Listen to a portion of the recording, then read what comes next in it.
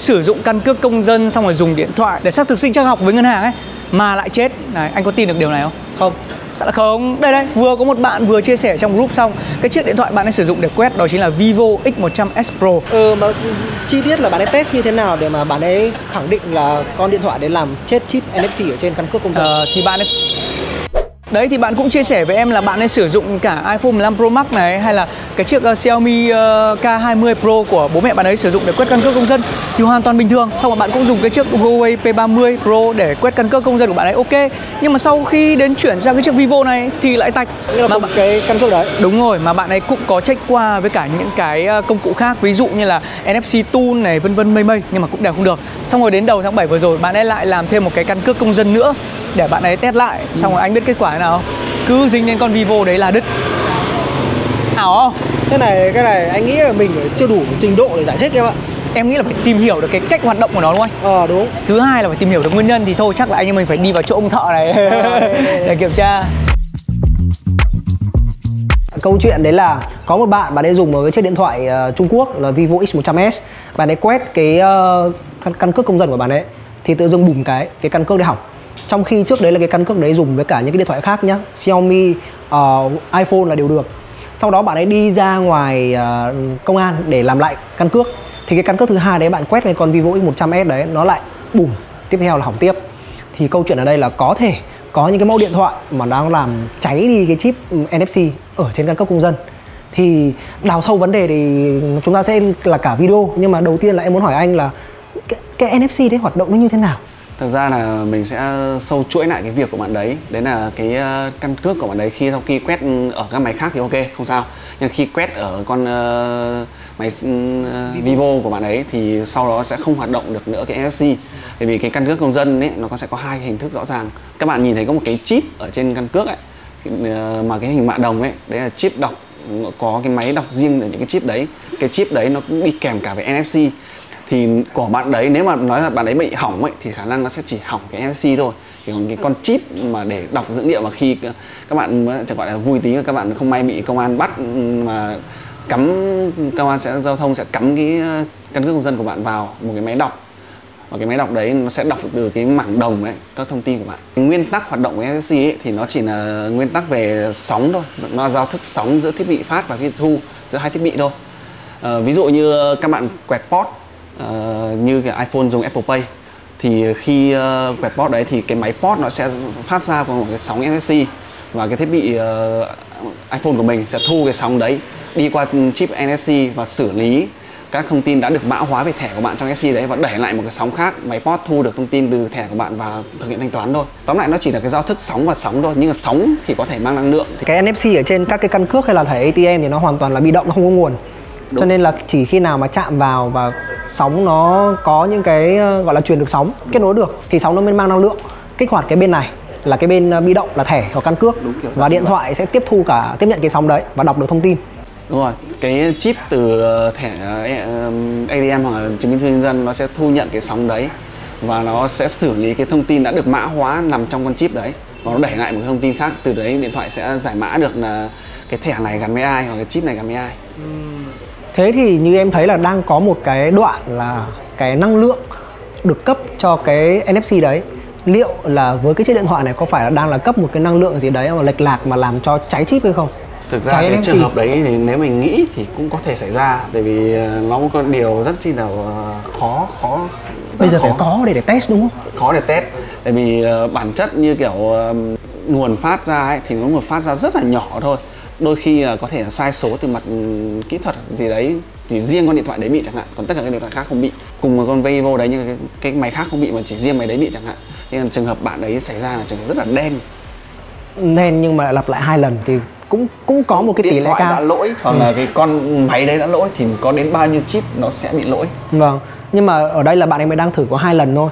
Thì cũng có tỷ lệ cao là có thể chính cái NFC ở trong căn cước đấy đã hỏng trước xong rồi đúng lúc đấy thì nó nhưng hỏng. bạn ấy có nói là bạn ấy đã thử trên các máy khác được mà. Vâng. thì không hỏng trước thì đến cái Vivo là hỏng. À. thực ra mình nghĩ là nhà nước làm nếu đều có quy chuẩn chung thì sẽ không có trường hợp là hỏng trước đâu. Tại vì mình nghĩ là nhà nước phát hành ra các sản phẩm đấy thì ờ, các cái đấy dịch vụ công cộng mà dịch vụ cho người dân mà nên không không có trường hợp học trước đâu. Mình nghĩ thế. Tất cả đều có phải test rồi còn em thì thấy là nó là đồ điện tử cho nên là làm 90 triệu cái mà tỷ lệ bây giờ kể cả lỗi 1.000 cái đi thì vẫn là tỷ lệ rất rất nhỏ. Mà lỡ đầu 1.000 cái đây dính vào đúng bạn đấy thì cũng có thể xảy ra. Bản chất cái việc mà nhà nước mã hóa thông tin vào nó cũng phải sử dụng rồi thì nó mới mã hóa ra được chứ hỏng rồi thì nhà nước không thể mã hóa thông tin của người dân vào đấy được. Anh Linh thế em muốn hỏi một xíu là kể cả là bạn ấy là em nhá thì đều gặp cái hiện tượng là rất khó quét căn cước công dân với cả điện thoại. À, như ví dụ như là cái chiếc iPhone 15 Plus em đang dùng đây đúng không? Thì theo như những thông tin em tìm hiểu thì cái bộ phát uh, anten liên quan tới NFC này Wi-Fi này 4G 5G thậm chí là Bluetooth thì Apple đều đặt ở cái vị trí uh, an 2 này. cái phần camera này. Đấy đấy thì cũng có những cái bạn chia sẻ với em rằng là có thể nhé do là đặt uh, tất cả nó bù lu bù loa ở một chỗ thành ra là tín hiệu nó không được truyền tải tốt này xong rồi sóng nọ chặn sóng kia xong rồi có những cách khắc phục. Ví dụ như là tắt wifi đi sử dụng 4G để quét NFC với cả ngân hàng. Thì theo anh cái này nó có đúng không? theo mình có tìm hiểu được ấy, thì đúng là iPhone ờ, quét được về xong quét uh, căn cước công dân vào định danh ngân hàng rất là khó. Nhưng mà về sau anh em cũng chia sẻ một số cách khá là hay. Thứ nhất là đặt một là đặt ở trên này. Nhưng mà mình cảm giác nhá mình có quét cho rất nhiều người rồi.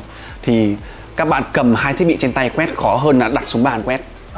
Đặt để xuống bàn. có sự ổn định hơn đúng. để xuống bàn quét sẽ dễ hơn và có một cái nữa đấy là iPhone đã từng thay vỏ nhất là từ 11 Pro Max đổ xuống ấy gần như không quét được NFC Tại sao lại thế anh? Nó có một cái gì đấy ngăn cản cái tín hiệu à? Ờ, một là mình có thể phỏng đoán được hai nguyên nhân thứ nhất là một là ờ, cái vỏ thay nó không đạt chất lượng hai là cái nút thay ấy các bạn vô tình làm hỏng mất cái anten sóng NFC Ờ, đấy ban nãy như anh soi cho em thấy thì em thấy là quanh cái căn cước công dân của anh là cũng có những cái đường chỉ những cái anten đúng không? Đấy không chỉ riêng là con chip thì em đang không biết là nếu như trong cái bài post kia bạn ấy chia sẻ là con Vivo đấy nó làm hỏng cái con chip đúng không? Là hỏng cái dây anten đấy chạy xung quanh ờ, cái căn cước hay là hỏng con chip?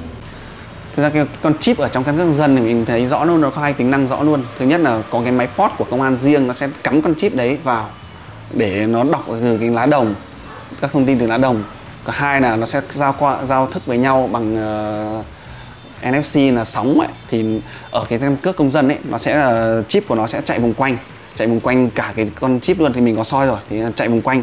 Mình nhìn thấy thế thì so với của cái ờ, thẻ của ngân hàng mình đã từng soi thử ấy, thì nó khá buồn cười là thẻ ngân hàng nó chỉ chạy một ít, ví dụ con chip ở đây, thì nó chỉ chạy một ít ở xung quanh con chip thôi. Nhưng của ờ, căn cước công dân thì nó chạy toàn bộ luôn, thì không hiểu là nhà nước làm như vậy để làm gì với cái giao thức tần số cao sóng cao của NFC vậy thì sẽ khó quét hơn vì cái diện phủ rộng như thế thì thành ra là uh, cái uh, sóng mang năng lượng nó sẽ thấp đi.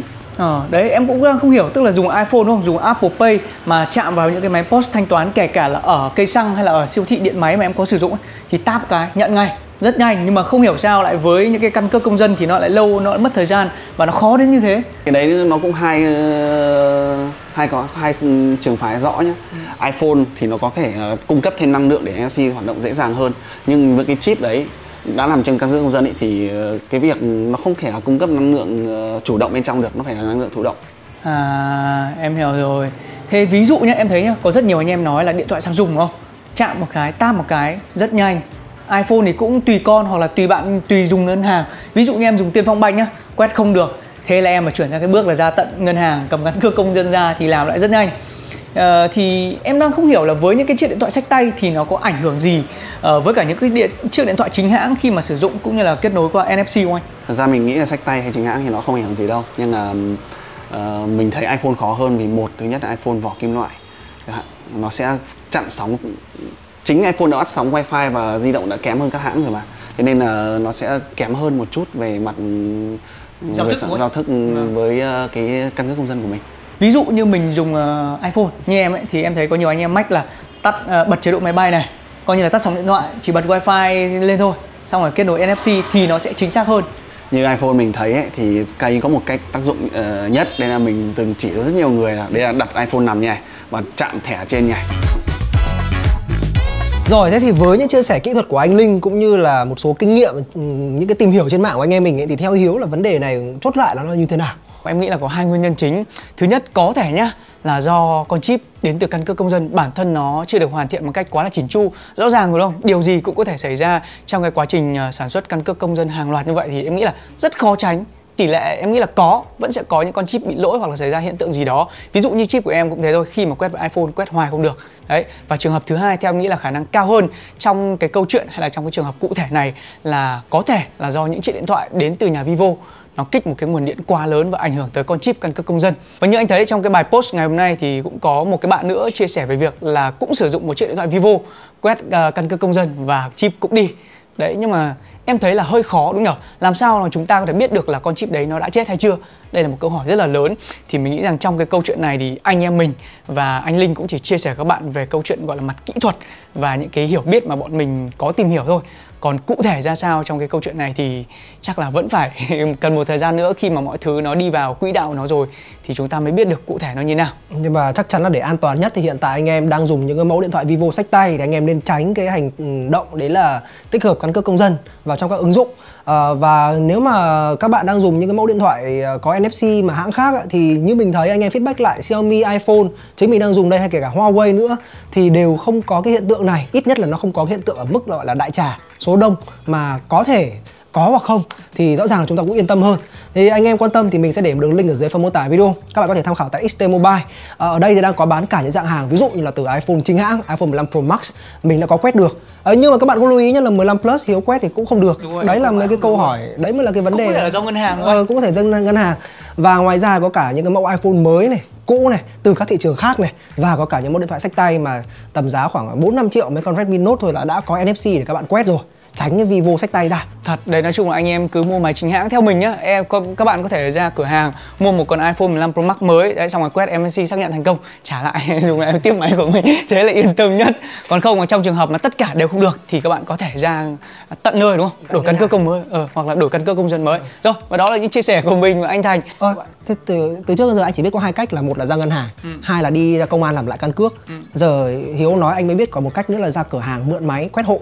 À ừ nhở À ý anh là ra những kiểu cái đại lý những cái showroom họ bày ừ, máy sẵn ra gì? mình, mình quét hộ. Mình lốc vào rồi Thế là chịu rồi, đến đâu mày nói thế thì chịu rồi. Nhưng mà đừng lấy máy demo đăng nhập tài khoản ngân hàng vào xong quét hộ nhá. Hãy Mất luôn. ờ, nhờ nhờ người ta gì đấy. Đúng rồi, nhất là trong thời điểm euro này nữa. Thôi, và đó những chia sẻ của mình và anh Thành. Bây giờ xin chào và hẹn gặp lại các bạn